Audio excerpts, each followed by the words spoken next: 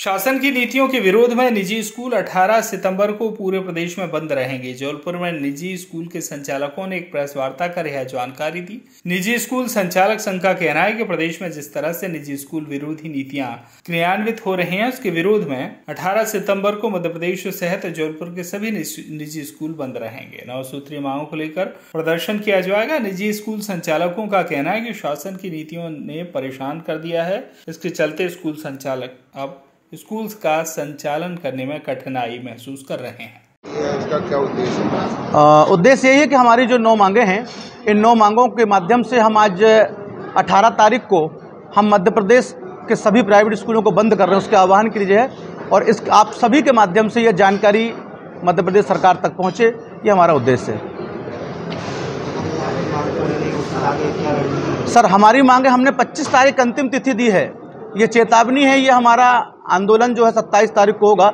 यदि 25 तारीख को हमारी मांगों का आश्वासन नहीं हमें लिखित में यदि ये आदेश नहीं मिला यदि महापंचायत उन्होंने नहीं बुलाई तो 27 तारीख को मध्य प्रदेश के संपूर्ण विद्यालय एक साथ उनके संचालक बंधु एक साथ राजधानी भोपाल में पहुँचेंगे और अपनी मांगों को हम मनवा के रखेंगे। साढ़े आठ सौ स्कूल?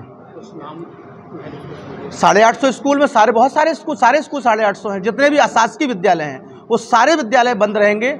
हम सब लोगों को पत्र पहुँचा चुके हैं और जहाँ नहीं पहुँचे, वहाँ पर पत्र हमारा आज शाम से कल तक में पहुँच जाएगा। बताया हमने 25 तारीख 25 तारीख को हमारी मांगे अंतिम समय दिया हमने माननीय मुख्यमंत्री जी को। ये निवेदन बहुत कर लिए। हम सिर्फ़ एक ही बात कहेंगे, अभी तक माननीय मुख्यमंत्री जी सिर्फ़ इतना समझ रहे थे कि ये लोगों, हम, सरकार अपनी है, हम कैसे भी करके इनको चला लेंगे। लेकिन बस इतना है कि हम दर बदल सकते हैं दीदार बदल सकते हैं हम कल्पनाओं का आकार बदल सकते हैं। और बात थी कि बिखरे हुए थे हम अब हम एक हो गए हम सरकार बदल सकते हैं। मैं भागवत आनंद जिला अध्यक्ष मार सरस्वती प्राइवेट स्कूल एसोसिएशन।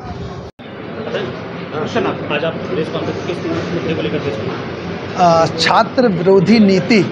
अगर सरकार शिक्षा क्षेत्र में कोई भी कदम उठाती है या कोई भी नीति उठाती है तो सबसे पहले इफ़ेक्टिव होते हैं वो छात्र। शिक्षा अगर है तो मतलब उसकी जड़ होगी छात्र। छात्र जो हैं, वो उसी से अभिभावक जोड़े हैं, उसी से स्कूल के संचालक जोड़े हैं, उसी से शिक्षा विभाग चलता है। अगर छात्रों में भी भेदभाव कर दिया जाए कि तू अलग है, तू अलग है, तेरे पास साठ परसेंट आए हैं बच्चे, कोई बात नहीं है पर तेरे को स्कूटी मिलेगी, पर तू बच्चा, वहाँ पर ऐसा पढ़ रहा है, आरटी के थ्रू ही प्राइवेट स्कूल में पढ़ रहा है, पर तुमको स्कूटी नहीं दी जाएगी।